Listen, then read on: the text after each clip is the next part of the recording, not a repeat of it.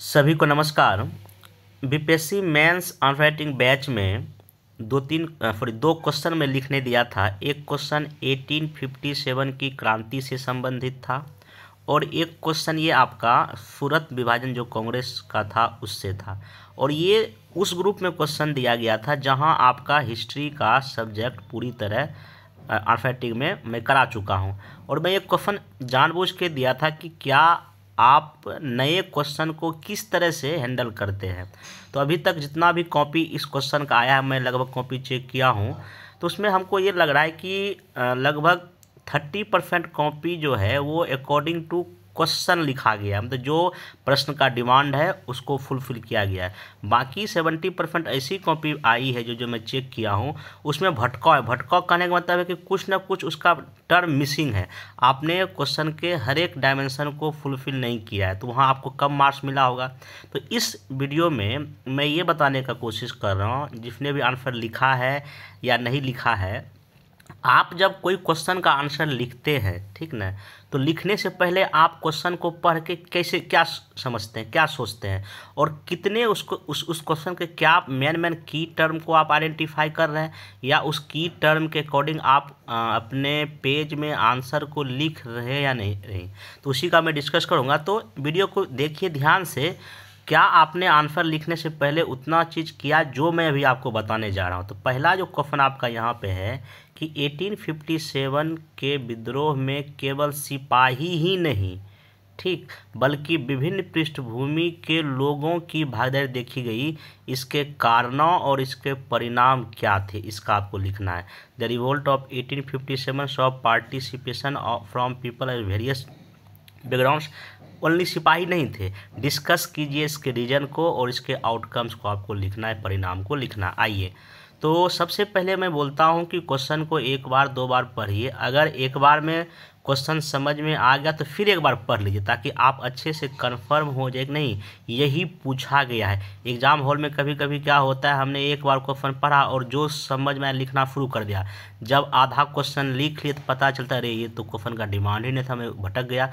आपका टाइम भी गया और बाकी तो आपका नंबर भी अभी कभी मिलना है। इसलिए क्वेश्चन को मिनिमम दो बार पढ़िए। तो क्वेश्चन को पढ़ने के बाद क्या क्या की टर्म पता चल रहा है, ये आपको सोचना पड़ेगा। तो अगर अच्छे से क्वेश्चन को पढ़ा जाए पहला तो मैन है कि 1857 की क्रांति रिवोल्ट ऑफ़ 1857 ओके फिर ये सिर्फ़ सिपाही विद्रोह नहीं था तो सिपाहियों की इसमें सिर्फ़ भागीदारी नहीं हुई अलग अलग बैकग्राउंड के लोगों की भागीदारी। दूसरा की, तीसरा की टर्म हो गया, फिर तब इसके कारणों की आपको चर्चा करना पड़ेगा, तब इसका आपको परिणाम लिखना पड़ेगा। तो ऐसा आप क्या सोचे थे? ऐसा आपको सोचना पड़ेगा। और जैसे आपने सोच लिया मोटा मोटी एक रफ डायग्राम या रफ में ये काम कीजिए। अच्छा हमको भूमिका पचास वर्ड लिखना ही लिखना है।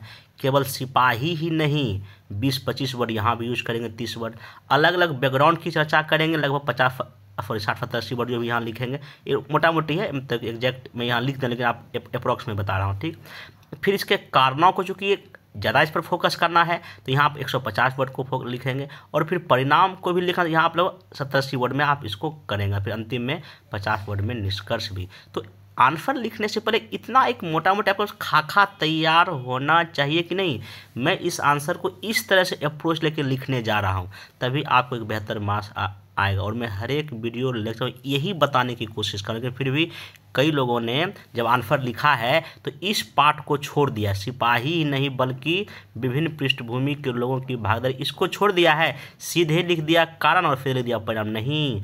आंसर हो गया आपका इनकम्प्लीट अधूरा आंसर है, क्योंकि यहाँ पे आपको इसको भी थोड़ा सा कि नहीं, सिपाही ठीक है, इस विद्रोह की शुरुआत क्या कहता हूँ, मंगल पांडे या फिर यहाँ मेरठ से शुरू होता है और बाकी आग में आगे कई सारे जो रेजिमेंट के भी सिपाही इसमें भाग लेते हैं। लेकिन अलग अलग बैकग्राउंड चाहे वो राजा महाराजा हो या आपका किसान हो, मजदूर हो, आदिवासी की भी भूमिका हमको इसमें देखने को मिलती है। आपको एग्ज़ाम्पल देना पड़ता तब आखिर ये भागीदारी क्यों हुई?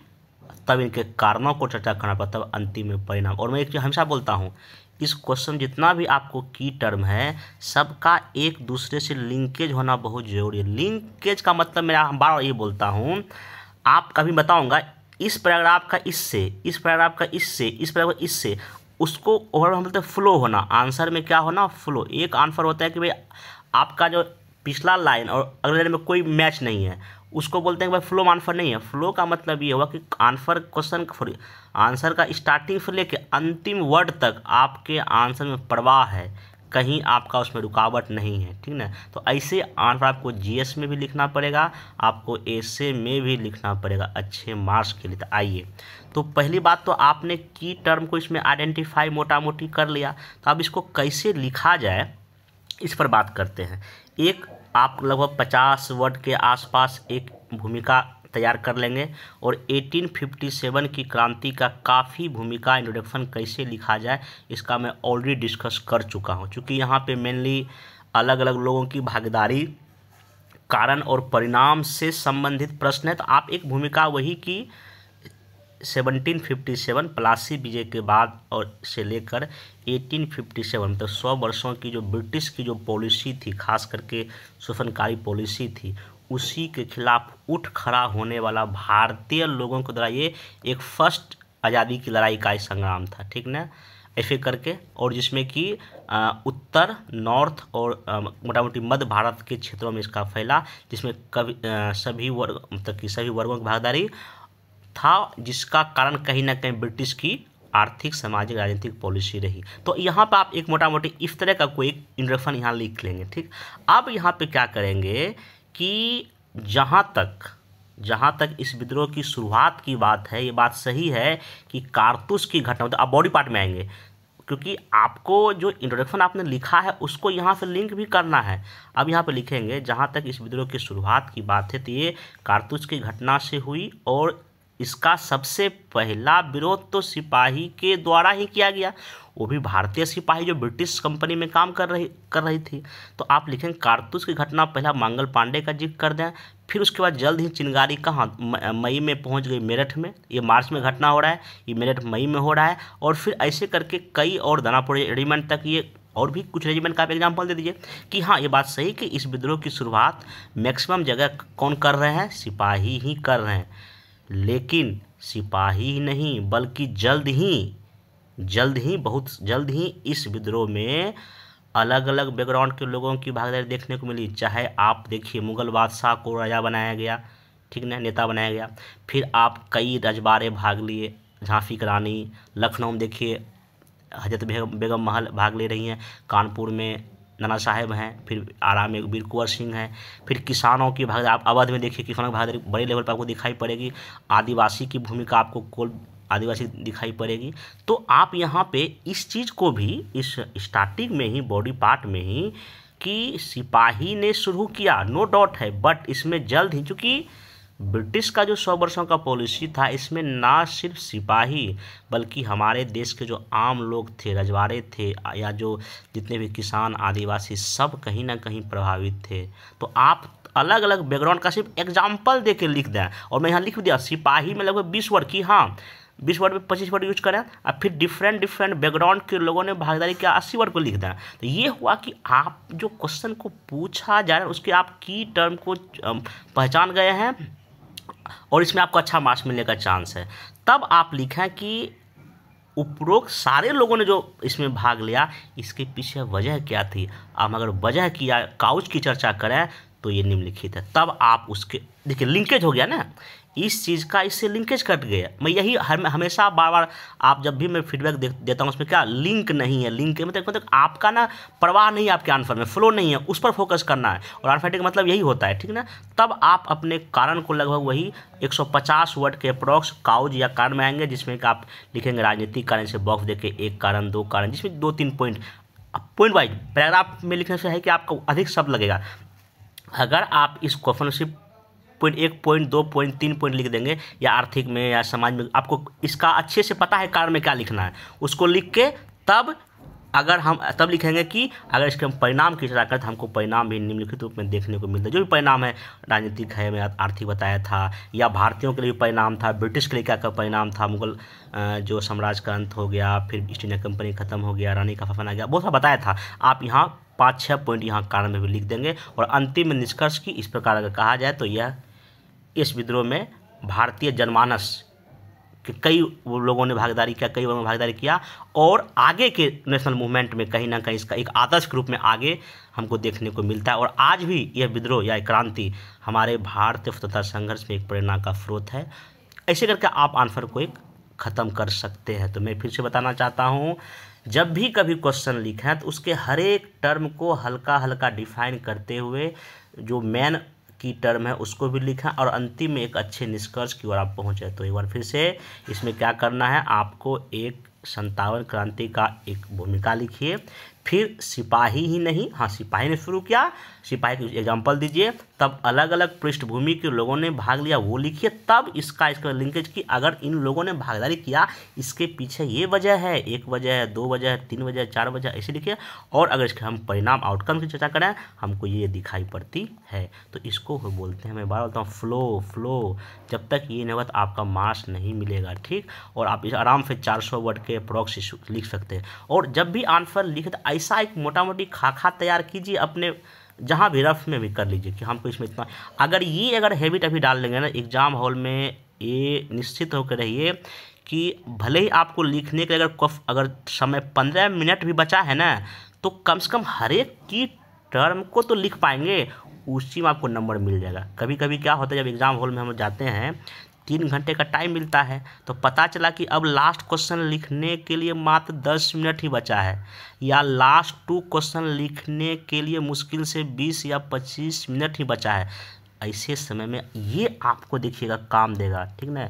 और ये सिक्सटी सेवन सिक्सटी एट वाला जाकर पूछिए, जो जो B P S C exam निकालने वो बताएँगे, ठीक ना? तो ये करना बहुत ही आपको ज़रूरी है। अब आइए दूसरा क्वेश्चन चलते हैं। दूसरा क्वेश्चन देखिए, क्या है ये भी क्वेश्चन आपको समझने की ज़रूरत है कि सूरत विभाजन, भारतीय राष्ट्रीय इंडियन नेशनल कांग्रेस के भीतर कहीं ना कहीं आइडियोलॉजी या विचारधारा और जो नेतृत्व करने के स्टाइल या शैली के टकराव के कारण हुआ, आपको पता है इसका? देखिए मेन टर्म यहाँ पे की टर्म पता चल गया। हालाँकि इसने शॉर्ट टर्म में अल्पावधि में नेशनल मूवमेंट को वीक या कमज़ोर किया। लेकिन बट इसका जो है ना लॉन्ग टर्म इम्पैक्ट भी पड़ा, जिसमें एक मास वेस्ट राजनीति का विकास हुआ उग्र राष्ट्रवाद का उदय हुआ और भविष्य के मूवमेंट आंदोलनों और नेताओं पर भी प्रभाव शामिल था। इसका आपको क्या करना है एग्जामाइन करना है। कहने का मतलब है कि आप क्वेश्चन को फिर से पढ़िए। जब क्वेश्चन को फिर से पढ़ेंगे तो कई तरह का आपको की टर्म आइडेंटिफाई हो पहला, कि आपका कौन सा विभाजन है? सूरत किसका? कांग्रेस का। आप मोटा मोटी ये है। दूसरा, क्यों हुआ? क्योंकि विचारधारा मतलब कि यहाँ पे आइडियोलॉजी और लीडरशिप स्टाइल में कहीं ना कहीं जो है ना क्लैश था। विचारधारा की टर्म है और नेतृत्व शैली भी है। फिर इसका परिणाम ये हुआ कि शॉर्ट टर्म में कमज़ोर किया किसको? नेशनल मूवमेंट को। लेकिन लॉन्ग टर्म इसका इम्पैक्ट ये है कि क्या क्या हो रहा है? मास बेस पॉलिटिक्स हो रहा है उग्रराष्ट्रवाद का विकास और भविष्य के आंदोलन और नेताओं पर भी प्रभाव पड़ रहा है। ठीक ना? तो इतना की टर्म अगर आप एक क्वेश्चन लिखने से पहले अगर सोच लिए थे, आपका दिशा सही है। नहीं सोचे थे तो दिशा को बदलिए और जो मैं बता रहा हूँ उस रास्ते पर चलना चाहिए आपको, ठीक ना? तो अब यहाँ पे जितना भी की टर्म आपने आइडेंटिफाई किया, आप सबको तो लिखना पड़ेगा। और मैं कई कॉपी में क्या देखा? इसका, ये तो पूरा गायब है, ये भी गायब है, ये भी गायब है, ये लिख के ख़त्म कर नहीं आंसर हो गया क्या? अधूरा, ऐसा आंसर ना लिखें। अब अगर शब्द कहाँ कहाँ कितना खर्च करना है, आप भूमिका में चालीस पचास वर्ड कर सकते हैं। इफ़ दोनों में आप 80 सौ वर्ड के आसपास जा सकते हैं। शॉर्ट टर्म में कमज़ोर हुआ, चालीस पचास, साठ में जा सकते हैं। लॉन्ग टर्म जो जितना भी सॉरी ये जो की टर्म है तीनों। इसमें आप लगभग डेढ़ सौ, दो सौ वर्ड जाइए और अंतिम में क्या लिख दीजिए? निष्क। देखिए, शब्द तो मायने रखता है, लेकिन सबसे बड़ा मायने ये रखता है कि आपने जो क्वेश्चन में जो पूछा है, क्या उसको टच किया है या नहीं? क्या उसको अच्छे से डिफाइन किया है, नहीं किया? इस चीज़ पर फोकस कीजिए। ओके, चलिए। तो कैसे लिखा जाए? तो आइए बात करता हूँ। सबसे पहले देखिए, कई लोगों का मैं पढ़ा इसका introduction introduction according to question नहीं। कैसे देखिए? एक चीज़ तो यहाँ ये भी तो है। इंडियन नेशनल कांग्रेस भारतीय राष्ट्रीय कांग्रेस समझ रहे ना? तो आप देखिए इसका भूमिका कैसे लिख सकते थे? इंट्रोडक्शन कैसे लिखते? ऐसे लिखते मोटा मोटी कि 1885 में इंडियन नेशनल कांग्रेस का स्थापना जिस उद्देश्य से हुआ था, उद्देश्य क्या था? देश के लोगों को राजनीतिक रूप पर एक प्लेटफॉर्म प्रदान करना, मंच प्रदान करना और सरकार की शोषणकारी नीति के खिलाफ, सरकार के शोषणकारी नीति के खिलाफ देश को एकजुट करना और कहीं ना कहीं आज़ादी की ओर अग्रसर करना। ये इनका मेन उद्देश्य था। लेकिन पंद्रह सॉरी बीस वर्ष के बाद आफ्टर ट्वेंटी ईयर्स यहाँ पे कांग्रेस के भीतर कुछ मतभेद दिखाई पड़ता है, जिसका परिणाम क्या था? सूरत विभाजन। या भूमिका में लिखिए। तब अगर हम इस विभाजन के कारणों पे आते हैं तो दो बड़ा कारण हमको दिखाई पड़ता है, जिसमें एक आपका है कि इन कांग्रेस के नेताओं के बीच में विचारधाराओं का मतभेद मतलब कि उदारवादी मॉडरेट लोगों के बीच और एक्सट्रीमिस्ट और अग्रम दल के बीच। ठीक है ना? अब यहाँ पे इन दोनों के कुछ विचार क्या क्या थे? इनका विचार यही था ना, इनको ब्रिटिश की न्यायप्रियता में विश्वास था, समझे? और ये जो है, विद्रोह को, सॉरी, विद्रोह बोलते आंदोलन को ये उच्च वर्ग तक ही सीमित रखना चाहते थे, ठीक ना? तो इनका लेकिन, अगर हम एक्सट्रीमिस्ट का तो बिल्कुल अलग था, इनको ब्रिटिश में बिल्कुल विश्वास नहीं था, और इनका जो काम करने का इन लोग का जो शैली था, स्टाइल था, अब इसमें भी अंतर था। जो उदारवादी लोग, जो मॉडरेट जितने भी नेता थे, ये संवैधानिक दायरों में रह के काम करना चाह रहे हैं। लेकिन नहीं, ये जो गर्म दल हैं, ये चाह नहीं, अगर हमको आवश्यकता पड़े तो नहीं, संवैधानिक दायरे से बाहर निकल के हम आंदोलन को आगे बढ़ाएँगे। तो आपको यहाँ पे मेनली क्या है ना, इन दोनों के विचारधारा का भी कुछ लिखना था, और इनका क्या शैली था, बहिष्कार का बैकवर्ड के लेवल पे, स्वराज के लेवल पे ग्राम दल लोग क्या चाहते थे? पूरे देश में मूवमेंट को स्वदेशी फैलाना है। तो यहाँ आपको लिखना पड़े। और एक दो नेता का नाम लिखिए। लाल बाल पाल का लिखिए। तो अब इन दोनों को टर्म को डिफाइन करेंगे तो अब यहाँ लिंक करेंगे कि इन चीज़ों की वजह से क्या हो गया? आपका फुरत में बयान हो गया कांग्रेस का 1907 में। अब इसका अल्पावधि में शॉर्ट टर्म में क्या पड़ा प्रभाव? कमज़ोर हो गया क्या नेशनल मूवमेंट? क्यों? क्योंकि इस समय आप देखेंगे, जैसे ही सूरत का बयान हुआ, सरकार ने दमन की नीति अपनाई। कई कानून एक्ट पारित किया, चाहे प्रेस पर भी प्रतिबंध लगाया और भी सभा लगने पर प्रतिबंध करा दिया। तीन चार कानून लाया अंग्रेज़ों ने इस समय। और यहाँ पे फिर आप लिखना पड़ेगा कि जो बाल गंगा तिलक को छः वर्षों के लिए जेल की सज़ा हो गई।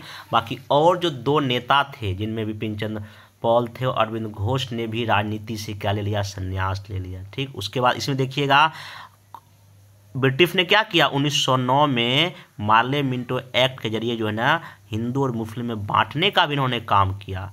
तो कम, जो नेशनल मूवमेंट जो है ना, कहीं ना कहीं लगभग सात आठ वर्षों के लिए मेरा क्या पड़ गया? कमज़ोर। 1915 तक। इसकी चर्चा करेंगे आप? लेकिन अब शॉर्ट टर्म में ठीक है। कमज़ोर किया वीक किया, लिख दिया आपने तीन चार पॉइंट में। लेकिन अब लिखेंगे बट अगर हम लॉन्ग टर्म इम्पैक्ट की बात करें तो पहला हमको क्या लिखना की टर्म जन आधारित राजनीति का विकास development of mass base politics दूसरा क्या है? उग्र राष्ट्रवाद का उदय और भविष्य के आंदोलनों और नेताओं पर प्रभाव। एक पॉइंट दो पॉइंट तीन पॉइंट या नेता का भी चार पॉइंट में आपको लिखा था। अब क्या क्या इसमें लिखेंगे? तो पहला यहाँ लिखेंगे कि मास मूवमेंट आप देखेंगे आगे जाके क्या हो रहा है कि होम रूल मूवमेंट हो रहा है। नेशनल सॉरी असहयोग मूवमेंट, आप यहाँ इसको ज़िक्र कर देंगे, ठीक ना?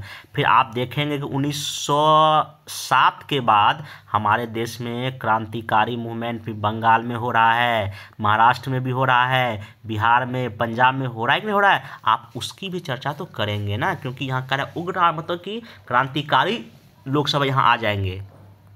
कुछ कुछ एग्ज़ाम्पल जैसे कि आपका जो है राष्ट्र बिहारी, बोस का एग्ज़ाम्पल देंगे, फिर महाराष्ट्र में मित्र मेला है, अभिनव भारत है, ठीक ना? बासुदेव बलबंद फकर इस सब का यहाँ पे आप कुछ कुछ क्रांतिकारी का, बंगाल के एक दो का, महाराष्ट्र का, एक दो बिहार में, खुदराम बोस सब का इसी समय का, समय काल है, ठीक ना? फिर पंजाब में जो है तो यहाँ पे क्रांतिकारी का दे देंगे।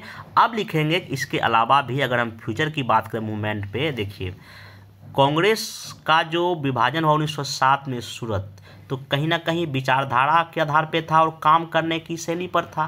तो आगे देखिएगा गांधी जी जो नेशनल मूवमेंट चला रहे हैं हमारे देश में गांधी जी ने एक काम ये किया कि जो गरम दल और जो उदारवाद, दोनों का जो विचारधारा था, जो काम करने की शैली था, दोनों को मिला के चलते हैं। गांधी जी शांतिपूर्ण से भी आंदोलन को समर्थन है। सत्य अहिंसा पर आधारित भी करना चाहते हैं, लेकिन अगर ब्रिटिश कहीं अगर गलती करता है तो वो जान देने को भी तैयार हो जाते हैं क्विट इंडिया मूवमेंट में। नहीं बोलते हैं ना कि या तो मैं ज़िंदा रहूँगा या तो ब्रिटिश सरकार। तो कहने का मतलब यह है, गांधी जी आगे आगे जो भविष्य के जो जितना भी मूवमेंट मूवमेंट हुआ, इस सूरत में हमने सीखा। और अगर कांग्रेस के अंदर अगर कहीं भी मतभेद होता था, आगे जब देखा गया तो ये लोग आपस में विचार विमर्श करके कांग्रेस ना टूटे इस पर फोकस करते थे। ठीक ना? तो एक सहमति आधारित राजनीति आगे के पॉलिटिक्स में हमको दिखाई पड़ता है, जो कहीं ना कहीं फिर से वो गलती ना दोहराया जाए। सूरज विभाजन हुआ, वो ऐसी गलती फिर से ना हो और इसका फ़ायदा ब्रिटिश हमको उठा ले या हम आपस में ही लड़ जाएँ, ऐसा आगे कांग्रेस के नेता करने से बचते हैं। ये कहीं ना कहीं क्या आपका लॉन्ग टर्म इम्पैक्ट नहीं है? हमारे नेशनल मूवमेंट पे तो यही तो आपको लिखना है फ्यूचर मूवमेंट पे। और यहाँ तक कि नेताओं पर भी देखिए, जो भी चीज़ें यहाँ पे, चाहे वो मॉडरेट के नेता थे या गरम दल वाले थे, इनके चीज़ों को, इनके जो इनका काम करने के तरीक़ों को भी लोग अपना अपना रहे हैं। बाल तिलक जी का देखिए, आगे के नेशनल मूवमेंट में गांधी जी भी उनके शैली को बड़ाई करते हैं, कभी को उनका यूज़ यूज़ करते हैं। यही आपको इस वाले में कि भविष्य जो आगे का जो फ्यूचर मूवमेंट था, उसमें भी और नेताओं पर भी इसका जो है ना अच्छा खासा हमको प्रभाव दिखाई पड़ता है, ठीक है ना? और खास करके यहाँ पे थोड़ा सा बंगाल का जो स्वदेशी मूवमेंट था, उसका भी एक दो की टर्म जिक कर दें।